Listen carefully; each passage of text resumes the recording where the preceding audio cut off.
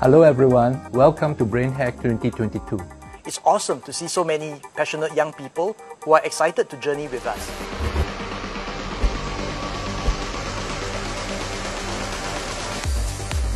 The main thing that the, we need the robot to do is to look for the clue regions within the arena. Oh, there we go, there we go!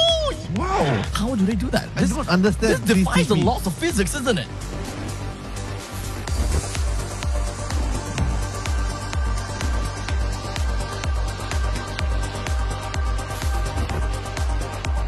XRPRS aims to raise awareness of uh, extended reality technology. This year, we have selected augmented reality as a team, and I'm very heartened by the quality of your ideas and presentation. This year, we welcome close to 600 participants. Whether you are uh, beginners or geeks, we hope you all have an enjoyable and fruitful experience in the online training.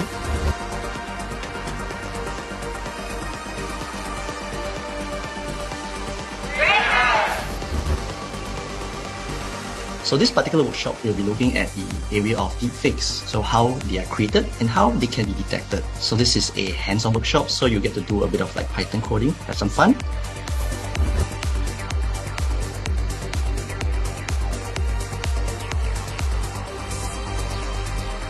So the question is, how close are we to the idea of the metaverse?